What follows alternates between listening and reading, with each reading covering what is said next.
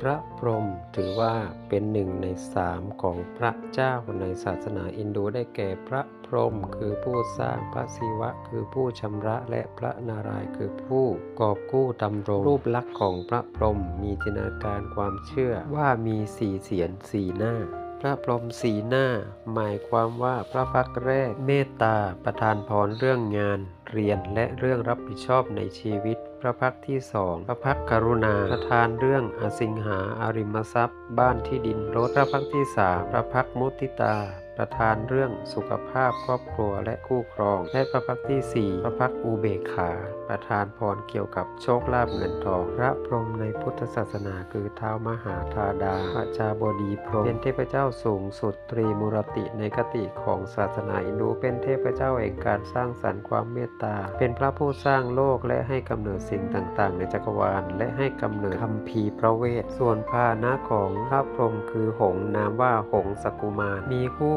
ครองคือพระสุรัสวดี ในคัมภีร์มัสยาปุราณะเล่าว่าพระพรหมเดิมทีมีถึงห้าพักการที่มีห้าพักเกิดจากการที่พระพรหมให้ได้กำเนิดผู้หญิงนางหนึ่งชื่อสัตรูปขึ้นมา ความงามของสัตรูปทำให้พระองค์หลงไหล เมื่อสัตรูปนี้เคลื่อนไปทางใด พระพรหมก็จะหันประพักตร์เพื่อมองตามไปด้วย แต่ว่ามีครั้งหนึ่งที่พระพรหมไปดูแคลนพระศิวะเข้าทำให้พระศิวะพิโรธและใช้ไฟบรรลัยกันจากพระเนตรที่สามที่กลางพระนาราเผาพระพักที่อยู่บนเสียนของพระพรหมจนเหลือเพียงสี่พักแต่อีกความเชื่อหนึ่งเล่าว่าพระพักด้านบนของพระพรหมนั้นเจิดจรัสมากทำให้พระสุระและอสุระทนไม่ได้ จึงขอร้องให้พระศิวะเป็นผู้ตัดให้ นอกจากนั้นยังเชื่อด้วยว่าพระพรหมเป็นผู้สร้างบุคคลในวรรณะต่างๆ จากอวัยวะแต่ละส่วนได้แก่พรามเกิดจากพระโอษฐ์กษัตริย์เกิดจากอกแพทย์เกิดจากท้องและสูตรเกิดจากเท้าในคติของชาวไทยที่รับคติความเชื่อจากศาสนาพราหมณ์ฮินดูเชื่อว่าพระพรหมเป็นผู้ลิขิตชะตาชีวิตของบุคคลต่างๆ ตั้งแต่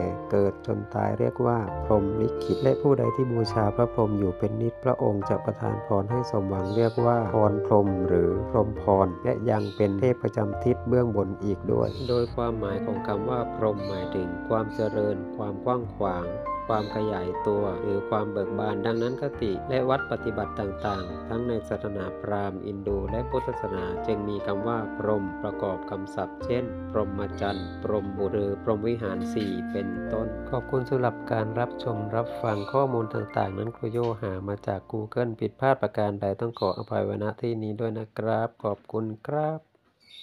Thank you.